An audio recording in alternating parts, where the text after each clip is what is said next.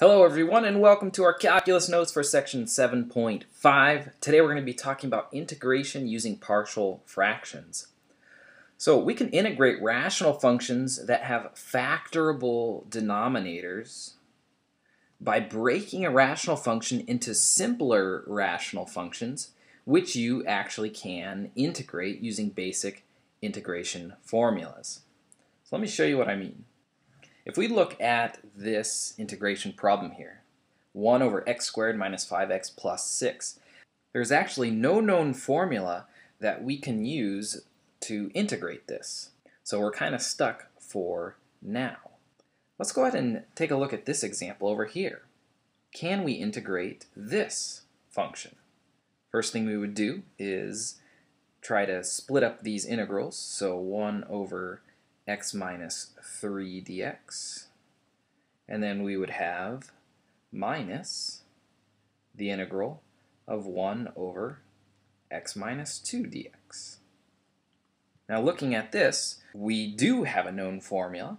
So 1 over x minus 3, that integral would just be the natural log of the absolute value of x minus 3.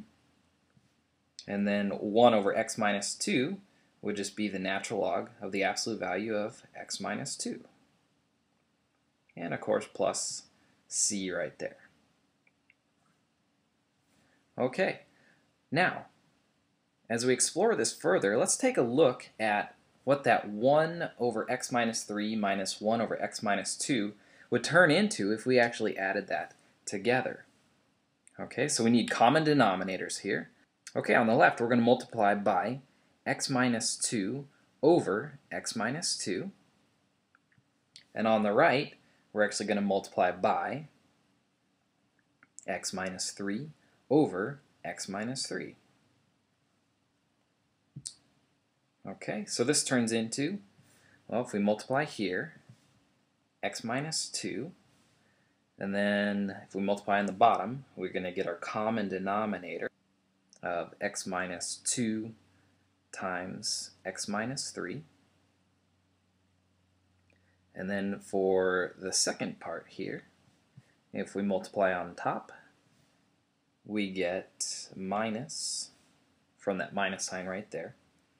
And then x minus 3 over, and then on the bottom, if we multiply, we're going to get that common denominator, x minus 2 times x minus 3. And now, because we have this common denominator here, we can actually subtract the 2. So we get x minus 2 minus, well I'm going to change that to a plus, change that to a minus, change that to a plus. So x minus x is gone, and then negative 2 plus 3 equals 1. So we actually get 1 over x minus 2 times x minus 3. And let's go ahead and multiply those two factors here. So here we're going to get 1 over, well, x times x is x squared. And then x times negative 3 is minus 3x. And then negative 2 times x is minus 2x. And then minus 2 times negative 3 is plus 6. And we'll combine these like terms here. And so we get 1 over x squared minus 5x plus 6. Now, if we compare this function to this function, we'll see that they are the same. 1 over x squared minus 5x plus 6. And if we go all the way back to here, this function and this function are the same. So that means if I know the definite integral for this one is the natural log of x minus 3 minus natural log of x minus 2, that means that this function, the integral, is also going to be the same. Okay, so hopefully that makes sense. And you can tell that those two equations are the same and so that they're going to have the same integral. One of them we were able to find because these were simpler rational expressions. And we could actually find uh, the integral of each of them. So what we're going to try to do, what this whole lesson is all about, is if we can expand this fraction to look like this, then we can integrate this problem right here. Okay, so let's talk about partial fraction expansion. What this is, is the opposite process of adding rational expressions. Okay, so you can see through this process, we went this way. What we want to be able to do now is go backwards. And we want to be able to get to this.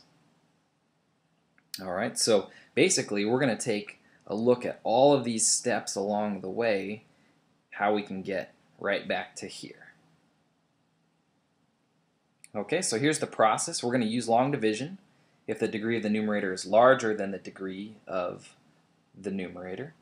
And this should actually say denominator right here. It doesn't make sense. degree of the numerator is larger than degree of the numerator. So it is, if the degree of the numerator is larger than the degree of the denominator, then you have to use long division first. The second thing that you have to be able to do is factor the denominator. So the denominator has to be factorable. Now, in step three, we have two different things we're looking at. If we have distinct linear factors, we are going to make one fraction per factor. And if we have repeating linear factors, we're going to use one fraction per each power of each factor. And we'll see what that means in a second. For step four, then you want to multiply by a common denominator. So you have to find what that would be and then multiply by it. Step five, you want to solve uh, by substituting roots into factors. And then step six, you want to substitute back into the integral and then be able to integrate. Okay, so we'll mark these steps as we go along so that you can track them back as needed.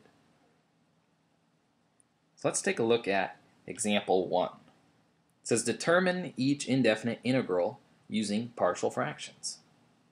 So we've seen this integral before, the integral of 1 over x squared minus 5x plus 6. It's what we did in our first example. So we know what the answer should look like, but let's talk about how to get there.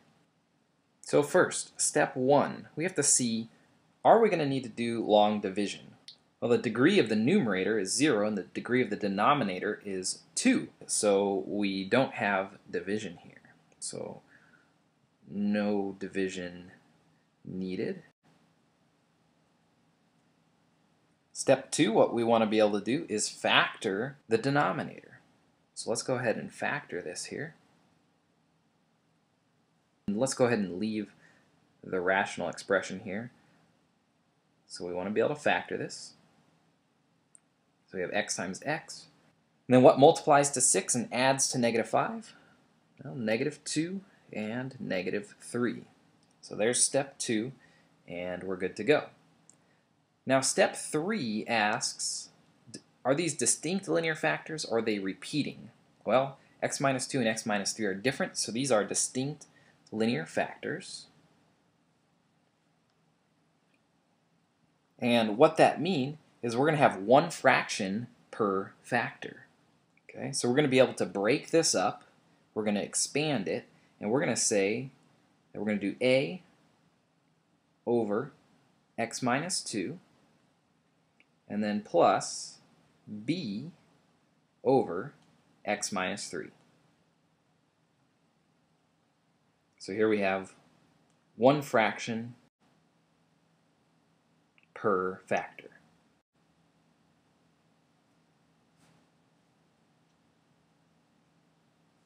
Okay, and that was step three right there.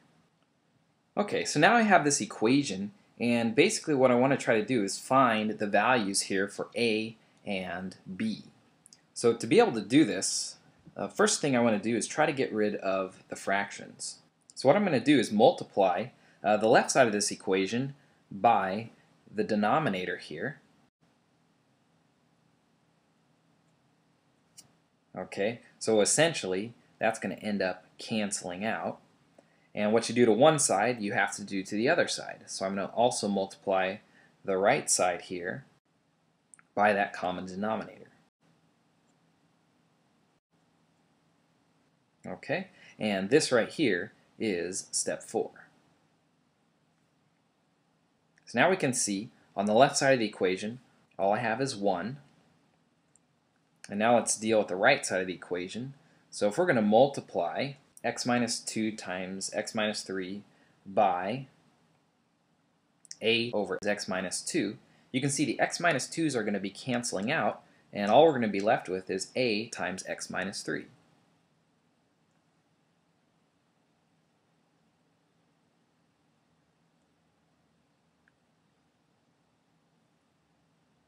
And now when we multiply by b over x minus 3, now the x minus 3's are going to cancel out, and we'll be left with b times x minus 2.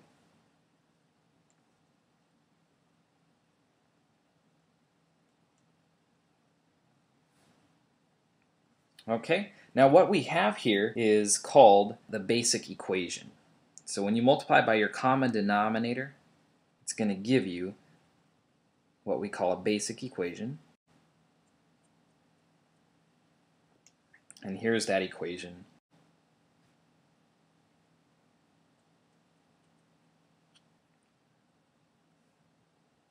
Okay, now the way I like to solve this is by trying to get one of these factors to equal 0 so that the a value will cancel out and we would be able to then solve for the b value. Okay, so what x value would let this factor go to 0? Well, let's go ahead and let x equal 3. So if we let x equal 3, the equation now would be 1 equals a times 3 minus 3, which is 0, plus b times 3 minus 2. And we can solve this. So 1 equals, well, this becomes 0. And then we have b times 3 minus 2, which is 1. And so all in all, we get b equals 1. Okay, so we've solved for our first one there. And now what we want to do is try to get rid of this second factor so that we can solve for a. Okay, so to be able to do that, I'm going to let x equal 2. And so now our equation is going to be 1 equals a times 2 minus 3 plus b times 2 minus 2. And you're going to see that this cancels out here. And we have a times negative 1. And so all in all, a is going to equal negative 1. All right, so all of this going on right here was step number 5. Okay, so we did solve for our A and our B right here. Okay, so step six says substitute back into the integral and integrate. So if we take a look at this integral, the very first thing we want to do is to rewrite this using our partial fraction expansion. So if we look down here, we know that 1 over x squared minus 5x plus 6 equals 1 over x minus 2 times x minus 3, which equals a over x minus 2 plus b over x minus 3. So this integral would also equal the integral of a over x minus 2 with respect to x plus the integral of b over x minus 3 with respect to x. Okay, so here is where the substitution comes in. So we need to replace a with negative 1 and b with 1. So this equals integral of negative 1 over x minus 2 with respect to x plus the integral of 1 over x minus 3 with respect to x.